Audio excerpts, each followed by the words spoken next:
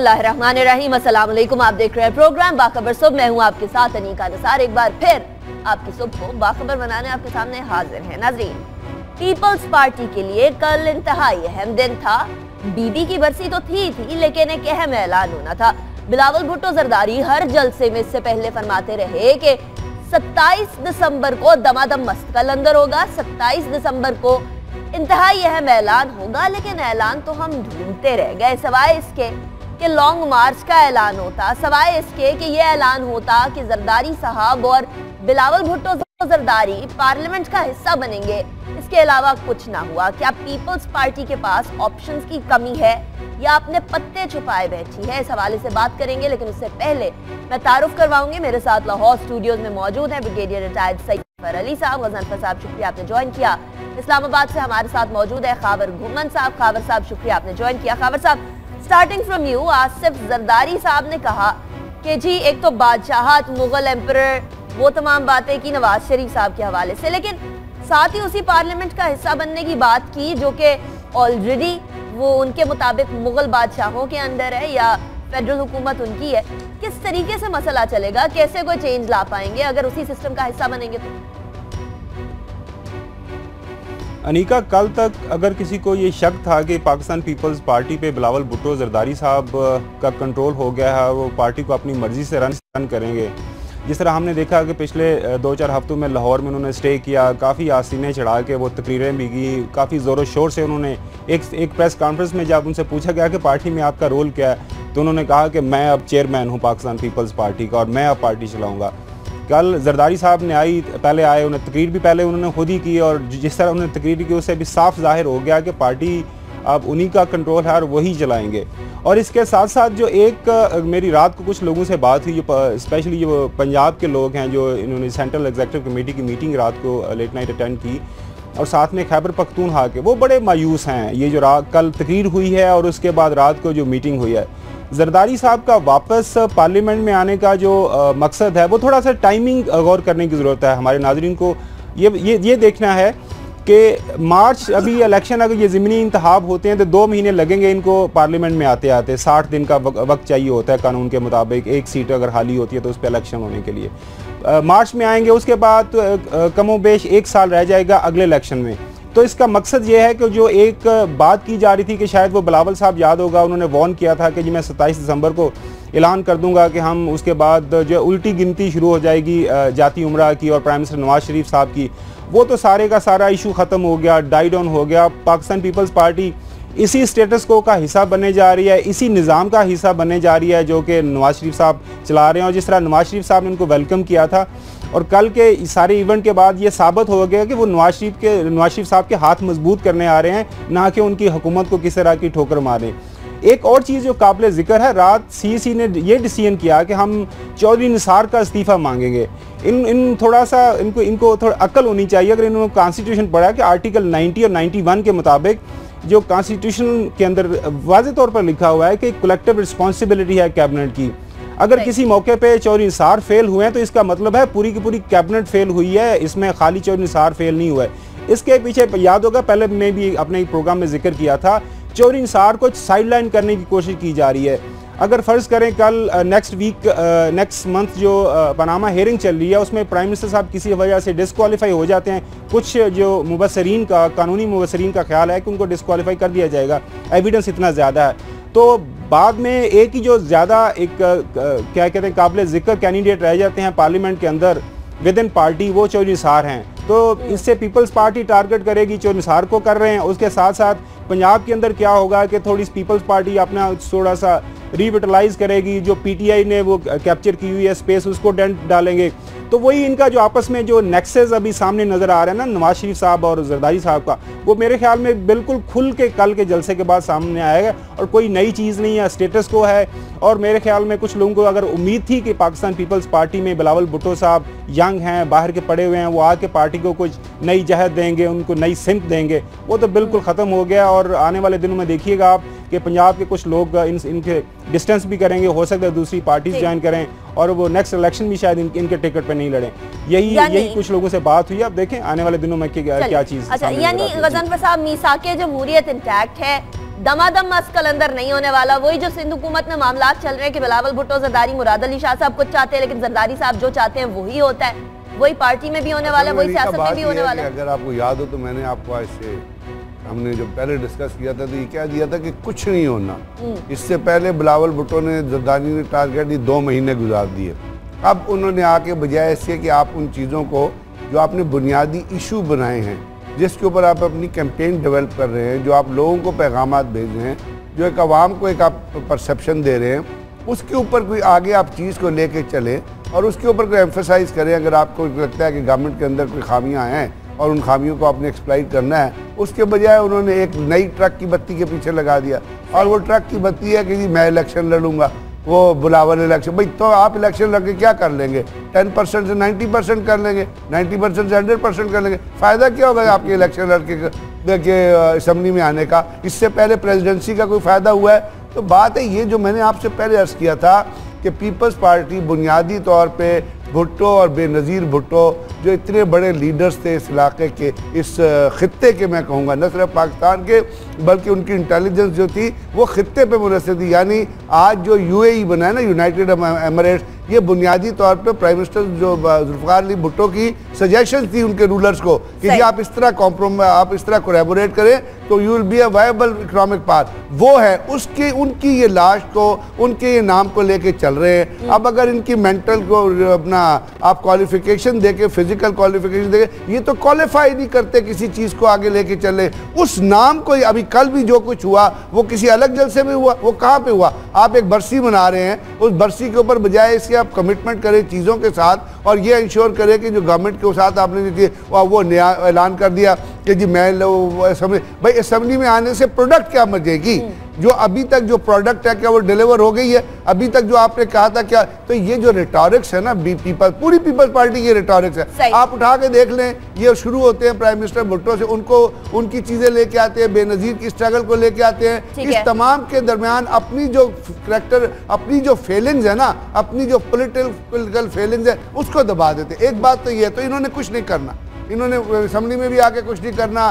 یہ تو کہتے ہیں کہ جن کا بنیادی طور پہ مقصد they are power hungry.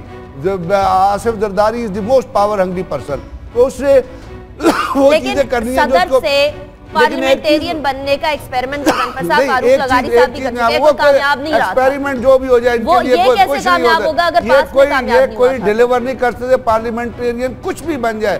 They he has he has no capability to deliver میں وہی سوال کر رہی ہوں میرا سوال میرا سوال اب ایک چیز میں کہوں گا خبر ایک سیکنڈ ایک چیز میں کہوں گا آپ نے کہا نا جو خاور نے جو بات کی ہے نا کہ یہاں سے لوگ نکل کے دوسری پارٹی میں چلے جائیں گے پیپلز پارٹی وہ نہیں جائیں گے۔ ٹھیک ہے۔ یہ میرا ذاتی تجربہ ہے یہ میری چیز ہے کیونکہ میں نے اس کی خاور کہہ رہے ہیں کسی سے بات ہوئی ہوگی یا کوئی ریزرویشنز آئی ہوں گی لیکن پیپلز پارٹی کا جو کلچر اندر موجود ہے نا اس کے اندر وہ پیپلز پارٹی سے باہر نکل کے جاتے ہیں تو آفتاب شیر کو باہر لے گیا تھا آج تک وہ دو دو ممبرز کا جو ہے وہ ایک لیڈر ہے۔ اچھا وہ نعیم الحق صاحب کی ایک ویڈیو بھی ریلیز ہوئی ہے لیک ہوئی ہے۔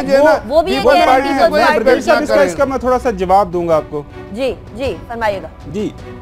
اچھا برگیڈ صاحب دیکھیے پنجاب کے اندر اگر سیاست کرنی ہے تو یاد ہوگا کہ پنجاب کے اندر جب یہ اشتہارات بھی لگتے ہیں نا ایون ضمنی انتخابات میں بھی جو اشتہار لگے پاکستان پیپلز پارٹی کے کینڈیڈیٹس کی طرف سے تو اس کے اوپر زرداری صاحب کی تصویر وہ نہیں لگاتے تھے کیونکہ پنجاب کے اندر جس طرح آپ نے کہا مسٹر ٹین پرسنٹ یا مس گورننس زرداری صاحب کی دوسری شکل جو ہے وہ مس گورننس ہے کرپشن ہے اور وہ جو پنجاب کے اندر جو حالات ہوئے دو ہزار سات سے لے کے دو ہزار آٹھ سے دو ہزار تیرہ تک، جس طرح انہوں نے گورنمنٹ کا بڑا غرق کیا فیڈرل لیول پہ، تو یہاں پہ تو لوگ بالکل ایکسیپٹ کرنے کے لیے تیار نہیں۔ اسی لیے جو پنجاب کے اندر پاکستان پیپلز پارٹی کی لیڈرشپ ہے، وہ بار بار یہ کہہ رہی تھی کہ ہمیں بلاول بھٹو چاہیے۔ اسی لیے زرداری صاحب جب لندن، وہاں پہ دبئی بیٹھے ہوئے تھے، لندن تھے تو وہ بلاول کو یہاں پہ لے کے آئے۔ بلاول کی موجودگی میں انہوں لوگوں کو اکٹھا کیا۔ انہوں نے یہ کہا کہ اب ہمارا نیا لیڈر ہے اب ہمارا ایک نوجوان لیڈر ہے۔ ہم نے پرانی سیاست بھول دی پرانی سیاست کو چھوڑ دیا ہے۔ نہیں میں میں وہی سر آپ کے سوال کا جواب دے رہا ہوں۔ تو اب ان کو اب ان کو کوئی نہ کوئی ڈیسیجن لینا پڑے گا۔ اس کی وجہ یہ ہے کہ زرداری صاحب کی موجودگی کے اندر پاکستان پیپلز پارٹی کا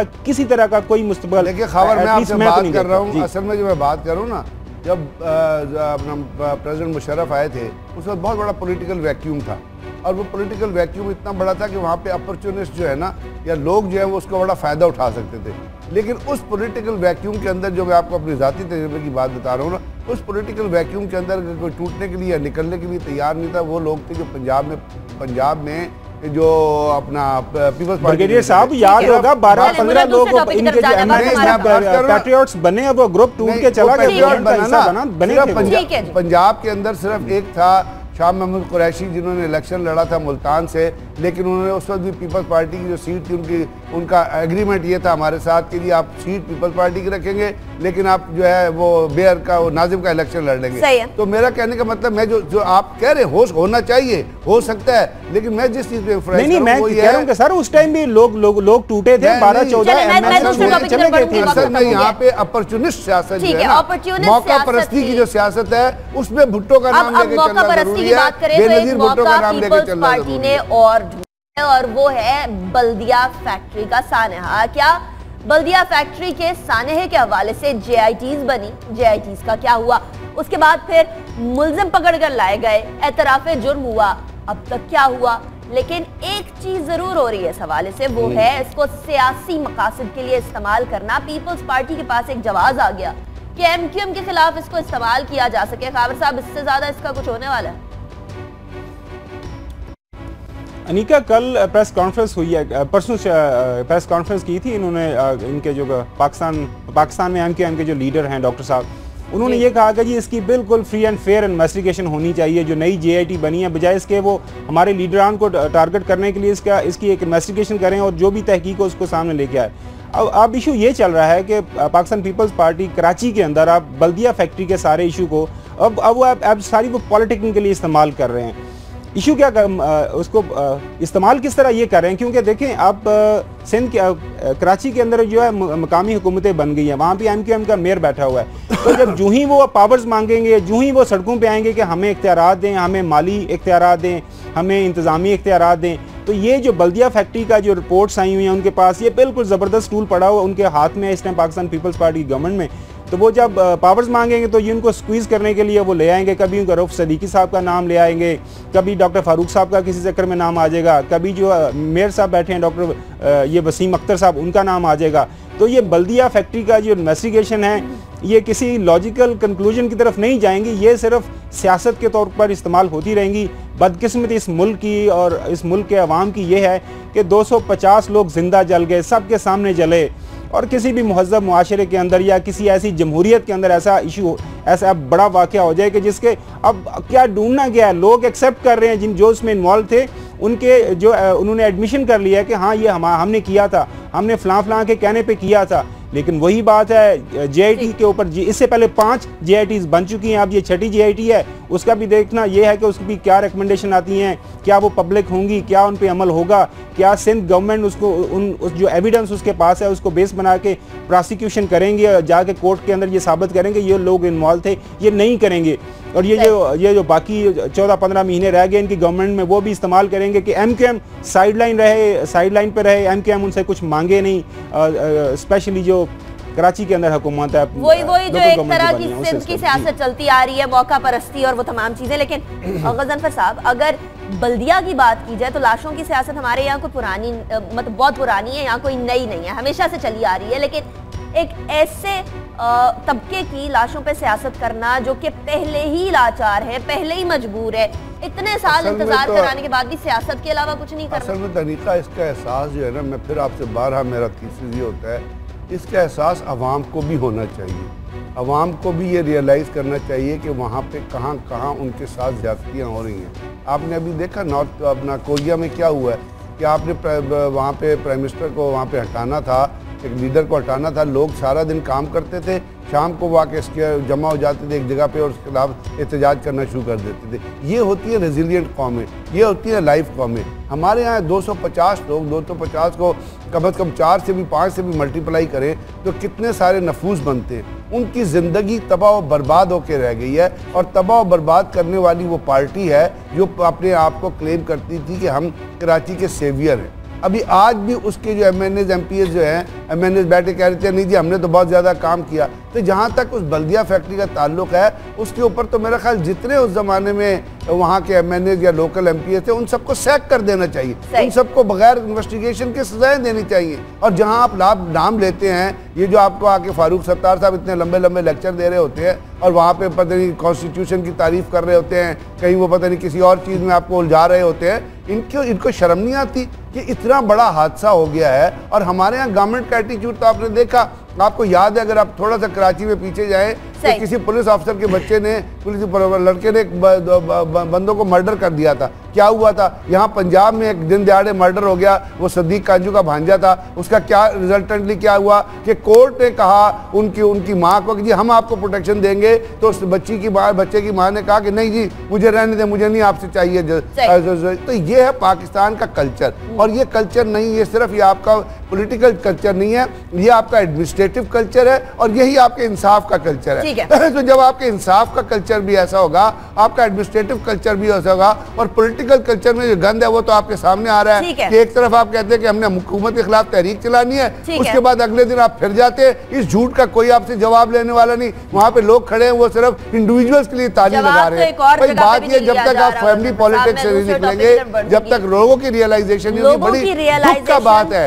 مر جائے اس کو پر ریلائزیشن ہو یہ بہت دکھ کی بات ہے۔ تب آئے گی جب ان کو تربیت اور تعلیم دی جائے گی۔ بڑے بڑے دعوے کیے جاتے ہیں کہ پڑھا لکھا پنجاب، پڑھو پنجاب، بڑھو پنجاب، لیکن ایسا کچھ سامنے نظر نہیں آتا ہے، اس لیے کیونکہ دانش سکول بنتے ہیں، وہ کچھ کافی زیادہ فلوپ ہوتے ہوئے نظر آتے ہیں۔ پھر گورنمنٹ سکولز کے اوپر کمرے تو بنا دیے جاتے ہیں، لیکن اساتذہ اور وہاں کے بچوں کی تعلیم و تربیت پہ دھیان نہیں دیا جاتا ہے ایسا ہی کچھ ہو رہا ہے۔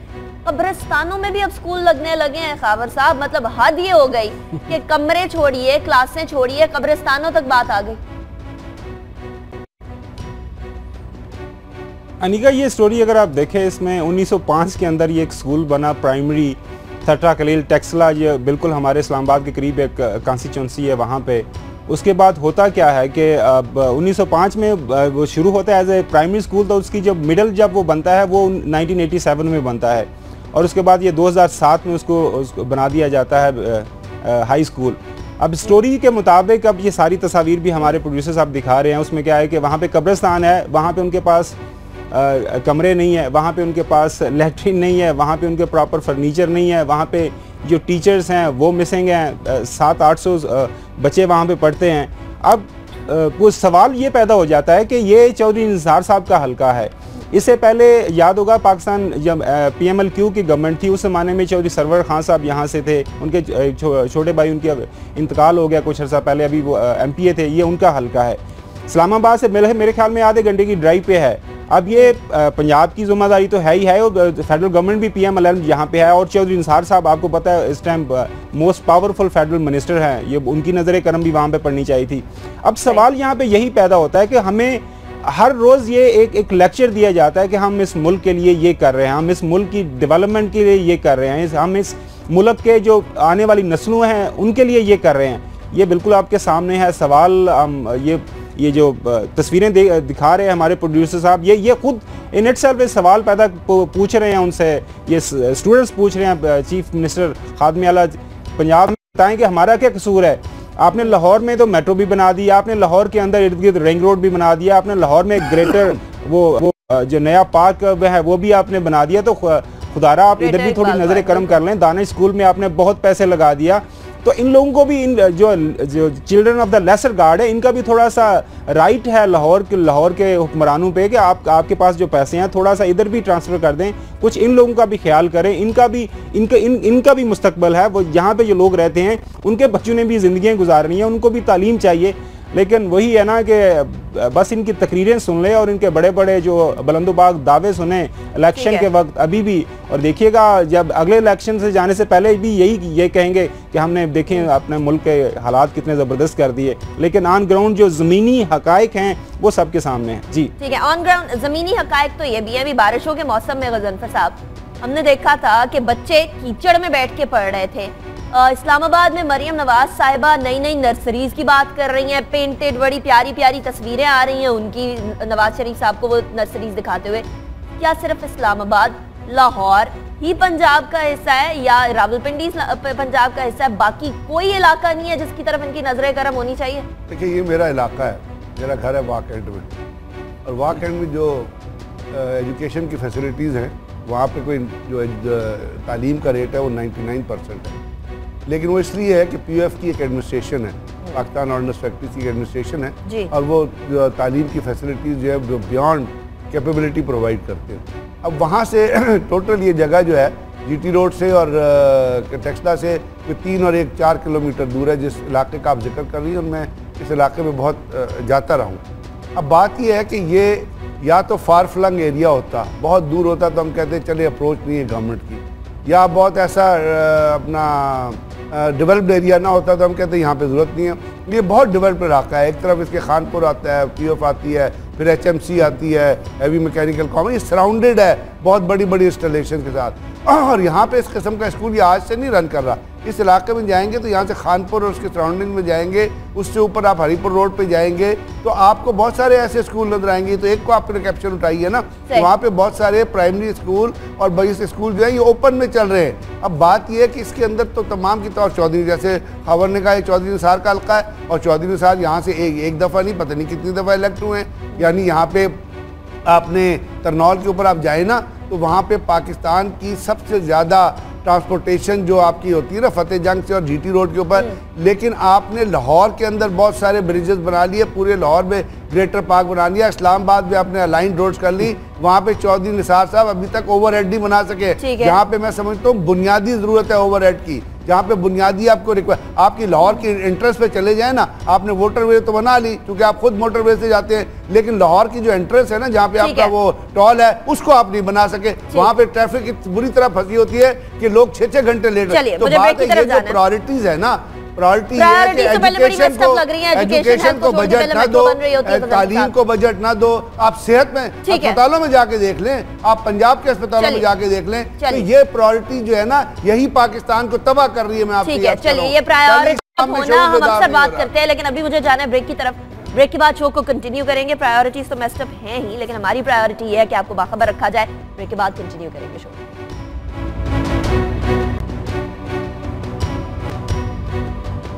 welcome back after the break ناظرین اکثر اوقات ایسا ہوتا ہے کہ منسٹری کی طرف سے کوئی ڈائریکٹیو دیے جاتے ہیں لیکن اگلا ادارہ جو کہ منسٹری کے انڈر ہوتا ہے وہ اس کو فالو نہیں کرتا کچھ ایسا ہی تناؤ خرم دستگیر صاحب اور این آئی سی ایل کے سی ای او میں جاری ہے اس وقت اور یہ تناؤ بڑھتا چلا جا رہا ہے کہا یہ گیا ہے کہ مس سٹیٹمنٹ کی گئی این آئی سی ایل کے سی ای او کی جانب سے اور اس کے علاوہ جو ڈائریکٹیوز منسٹری نے جاری کیے وہ ڈائریکٹیوز نہیں مانے گئے۔ خرم دستگیر صاحب میں اور سی ای او میں جو تناؤ ہے، خاور صاحب، کہیں ایسا لگ رہا ہے کہ کچھ ٹھنڈا ہوگا معاملہ یا معاملہ آگے بڑھتا جائے گا؟ انیکا، یہ تناؤ ٹھنڈا ہونے کی بجائے بڑھتا جا رہا ہے اور پچھلے ہفتے وہاں پہ منسٹری کے اندر انجینہ خرم دستگیر صاحب اور یہ کیپٹن جمیل ہیں۔ سی ای او ہے نا این آئی سی ایل کے، ان کے درمیان اچھی خاصی جو ہے نا، وہ شوٹنگ میچ ہوا کہ منسٹر صاحب کافی ڈانٹا انہوں نے کیپٹن صاحب کو کہ آپ این آئی سی ایل کے معاملات اچھے طریقے سے نہیں چلا رہے اور ان کے خلاف جو کیسز چل رہے ہیں نیب کے اندر ہے ایف آئی اے کے اندر اور کچھ اس طرح کی کمپلینٹس جو سی او کے اگینسٹ آئی ہیں، ان کے، ان پہ بھی بات ہوئی۔ رات میں نے کچھ لوگوں سے بات کی این آئی سی ایل کے کہ اصل معاملات کیا ہیں۔ ایک سائڈ کا یہ کہنا ہے کہ جی اب جو منسٹر صاحب ہیں، وہ سی سی ای او کو ریپلیس کرنا چاہ رہے ہیں، ان کی جگہ کو اپنی مرضی کا بندہ لانا چاہ رہے ہیں، لہٰذا وہ گراؤنڈ تیار کر رہے ہیں، لہٰذا ان کو ریموو کیا جا سکے۔ کچھ لوگوں کا، دوسری سائڈ کے لوگوں کا یہ ایک سائڈ کا یہ خیال ہے کہ نہیں سی او صاحب اچھی طرح کے طریقے سے وہ جو کہ وہ پرفارمنس انڈیکیٹرز ہیں این آئی سی ایل کے، وہ نہیں ٹھیک چل رہے۔ آپ کو یاد ہوگا کہ پیپلز پارٹی کے حکومت کے دوران این آئی سی ایل کے کرپشن کے کیسز کافی زیادہ تھے، وہ مخدوم مرحوم مخدوم امین فہیم صاحب بھی اس میں انوالو تھے اس میں یاد ہوگا کہ ان کے کون سے کوئی پیسے جی جی وہاں سے پیسے نکل آئے تھے۔ کراچی کے اندر کرنگی میں کچھ دس ایکڑ کا ایک پلاٹ خریدا گیا تھا بہت ہی انفلیٹڈ اماؤنٹ کے اوپر۔ وہ کیس سارے چل رہے ہیں۔ تو منسٹر صاحب یہ کہہ رہے ہیں کہ آپ ان کی جو پیروی ہے نیب میں یہ ایف آئی اے کے اندر وہ نہیں ٹھیک طریقے سے کر رہے۔ دوسرا ایک اور الزام بھی جو ہے وہ سی ای او پہ لگ رہا ہے وہ یہ کہ انہوں نے کچھ بھرتیاں کی ہیں پچھلے کچھ عرصے کے دوران وہ اپنے میرٹ کی وائلیشن میں کی ہیں۔ تو معاملات خراب سے خراب اتر ہوتے جا رہے ہیں۔ یہ میٹنگ ہوئی ان کی جو دو چار دن پہلے اس میں ان کا آپس میں جو اس طرح کے لیول کا آرگومنٹ ہوا وہ کہہ رہے ہیں کہ کوریڈور تک آوازیں آئیں کہ ڈانٹ اینڈ اپنے کہ منسٹر صاحب نے وہ جو سارے معاملہ چلا۔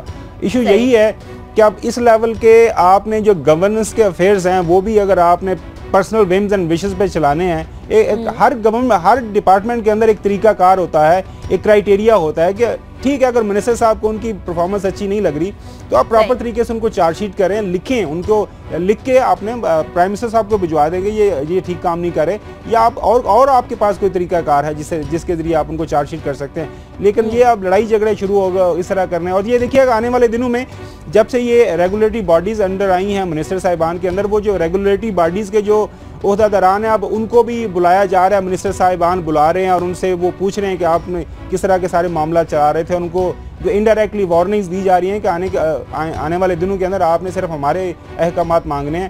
تو یہ سارے اب معاملہ چلیں گے اسی اسی روش ٹھیک ہے۔ یعنی یعنی کوئی ادارہ اگر منسٹری کے اندر ہو تو اس کے لیے عذاب پڑ جائے گا۔ یا پھر یہ بھی ہے کہ اس کو ریگولیٹ کرنے کے لیے منسٹری کے اندر ہونا بہتر ہے۔ غزنفر صاحب اس سے آپ کی کیا ٹیک ہوگی؟ اس میں جو چیزیں تھیں صاحب کو خاور نے بتا دی ہیں اور این آئی سی ایل بڑا بدقسمت ادارہ ہے۔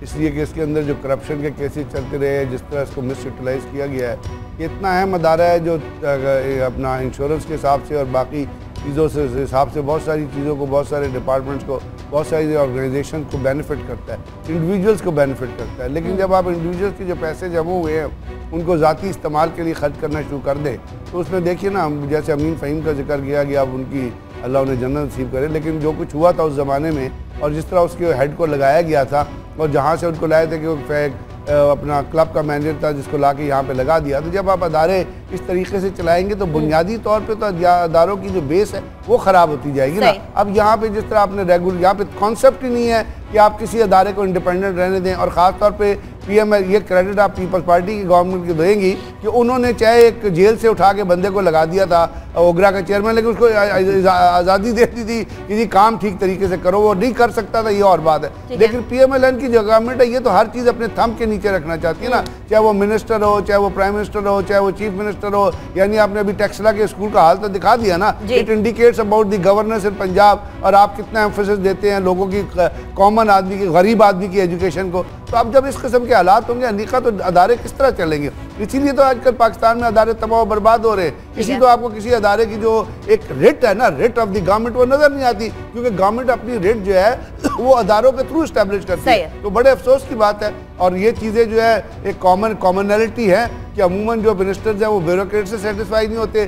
چاہتے ہیں جو ہمارے یہاں ایک کانسیپٹ بڑے عرصے سے انیقہ بنا ہوا ہے کہ میرا ٹھیکیدار میرا تھانے دار میرا ڈی ایس پی تو جب اس قسم ہوگا تو ادارے خراب ہی ہوں گے اور یہ ایک ایگزامپل ہے بہت بڑی ایگزامپل ہے اور ٹریڈ پالیسی آپ اٹھا کے پڑھ لیں۔ اس سے ریلیٹڈ جو خرم دستگیر کے زمانے میں آپ نے تین سال کیا اس پہ عمل ہو گیا ہم نے پرسوں اس پہ بات کی تھی۔ تو یہ تمام چیزیں جو آپ کا نیگیٹیوزم کی طرف لے کے جا رہی ہے نا یہی ابھی آپ نے آپ کے ٹیلی ویژن نائنٹی ٹو کے ریورس کے لیے اسٹیٹ بینک نے کہا کہ پاکستان نے کتنے قرضے لے لیے ان قرضوں کا کیا حال ہوگا؟ یہی ادارے تباہ ہوں گے تو قرضے ہی لیتے رہیں گے۔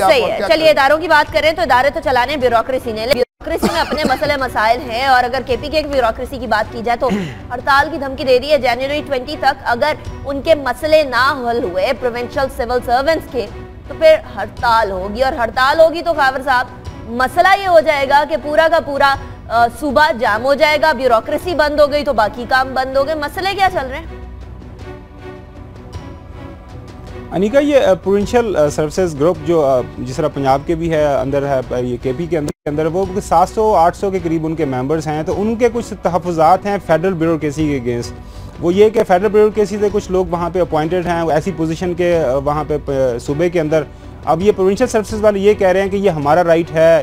وہ اس کے علاوہ ان کے جو پیز الاؤنسز کے اندر بھی سرٹن ڈیفرنسز ہے کہ ایک ایک جو آفیسر ہے جو فیڈرل گورنمنٹ یا سی ایس ایس جس نے کیا ہوا ہے جو فیڈرل گورنمنٹ کی طرف سے وہاں پہ اپوائنٹڈ ہے گریڈ سیونٹین ایٹین یا نائنٹی یا کسی بھی گریڈ کے اگینسٹ اس کی تنہا اور ایک پی سی ایس آفیسر اسی گریڈ کے اندر اگر صوبے میں کے اندر سرو کر رہا ہے تو ان کے ان کے درمیان پیز اینڈ الاؤنسز کا کافی فرق ہے۔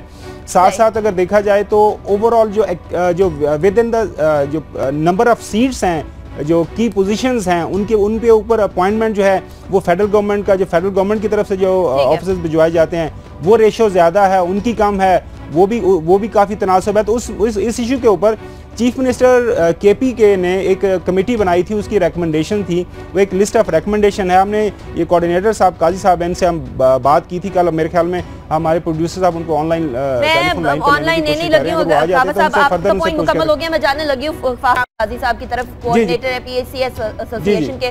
فاہد صاحب بہت شکریہ آپ نے جوائن کیا۔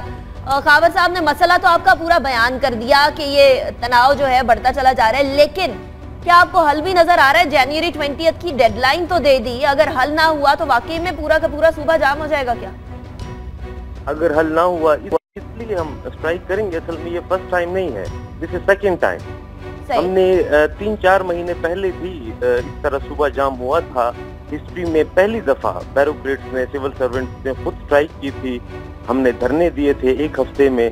P T I government to cognizance of that انہوں نے ایک منسٹرز کمیٹی بنائی۔ اور منسٹرز کمیٹی نے اپنی ریکمنڈیشنز دی جو کہ چیف منسٹر نے اپروف کی۔ چار مہینے گزر گئے ہیں۔ وہ ریکمنڈیشنز پڑی ہوئی ہیں ہمارے اسٹیبلشمنٹ ڈپارٹمنٹ کے پاس، مگر ان پہ کمپلائنس نہیں ہو رہا۔ ہم اس پہ ریمائنڈرز دے رہے ہیں۔ ہم منسٹرز کمیٹی کے ساتھ مل رہے ہیں۔ ہمیں نہیں معلوم کہ یا تو انکیپیسٹی ہے گورنمنٹ کی یا ہمارے ساتھ بالکل ایک ڈرامہ کیا جا رہا ہے۔ فہد صاحب یہ بتائیے آپ بھی گورنمنٹ سروس قاضی صاحب وہ ریکمنڈیشنز کیا ہیں؟ وہ لسٹ آف ریکمنڈیشنز بتائیں گے وہ کیا ہے غزنفر صاحب کا سوال ہو جائے پھر میں آپ کی طرف آتی ہوں۔ غزنفر صاحب سوال کر دیجیے گا۔ بات یہ ہے قاضی صاحب کہ آپ بھی گورنمنٹ سرونٹ ہیں فیڈرل گورنمنٹ کے بھی گورنمنٹ سرونٹ ہیں اور یہ تو ایک ٹریڈیشن ہے۔ پہلے یہ ڈی ایم جی گروپ ہوتا تھا آپ کا پروونشل گروپ ہوتا تھا۔ اس زمانے میں بھی کلیشز چلتے رہتے تھے۔ اب وہ فیڈرل ایڈمنسٹریٹو گروپ ہو گیا۔ تو ابھی بھی ان کے درمیان لیکن مجھے جہاں تک معلوم ہے کہ یہ ایک کوٹا ہوتا ہے ایک ریشو ہوتی ہے۔ پی سی ایس کے آفیسرز کی اپائنٹمنٹ کی اور ڈی ایم جی کے آفیسرز کی اپائنٹمنٹ کی.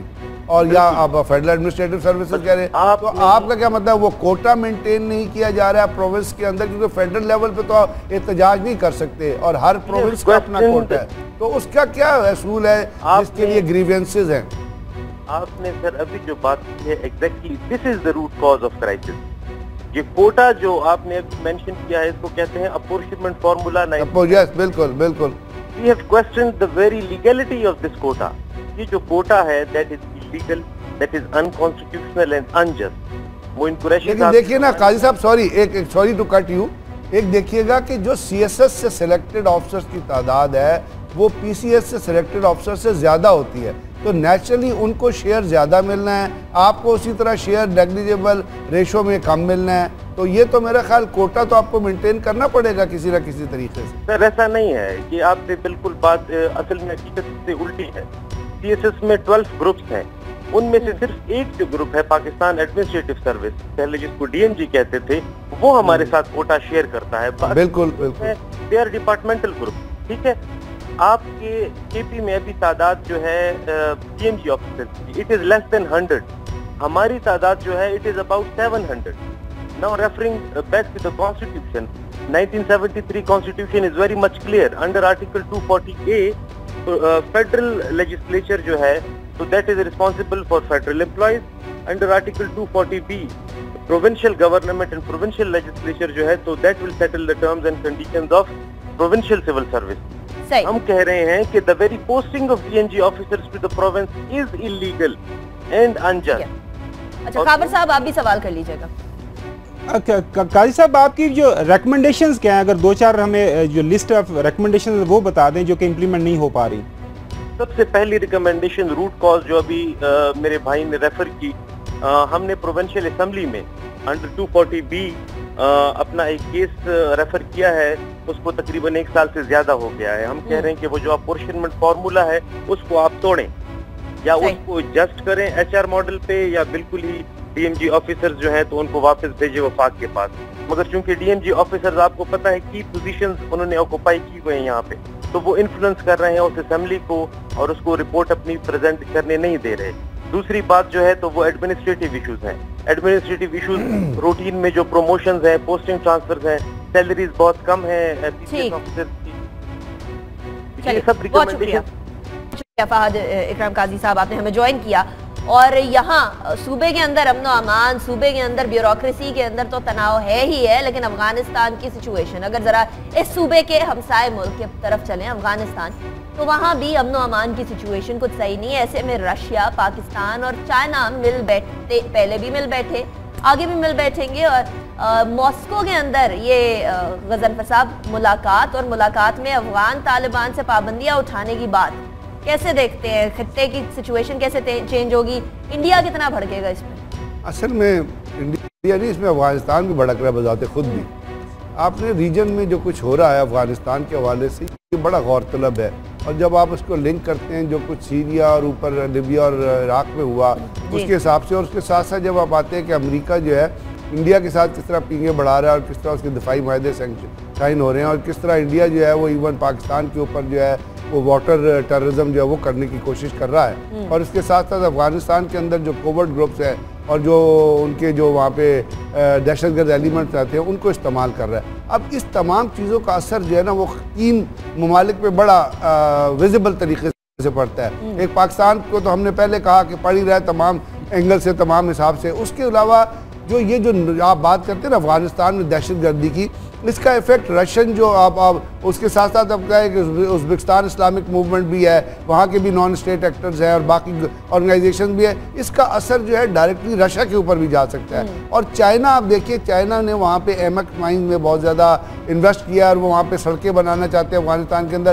ان کی وہاں پہ جو ہے اکنامک اسٹیکس ہیں تو چائنا کے اوپر بھی اثر پڑتا ہے۔ دوسرا چائنا اور انڈیا کے ساتھ انڈیا جس طرح چائنا کے ساتھ کر رہا ہے یا ان کے جو بارڈر ڈسپیوٹ چل رہے ہیں تو وہ بھی ایک لنکیج بن جاتا ہے۔ اور جیسے میں نے آپ سے عرض کیا جس طرح امریکہ جو ہے انڈیا کو پیمپر کرنے کی کوشش کر رہا ہے اور جو کچھ ہو رہا ہے تو یہ تمام چیزیں جو اثر انداز ہو رہی ہیں نا ڈائریکٹلی افغانستان کے اندر تو صورتحال جیسی ہے آپ کو پتہ ہی ہے کہ کولیشن فورسز رہی۔ اب وہ تمام فورسز جو ہے وہ کابل تک ریسٹرکٹ ہو کے رہ گئی ہیں۔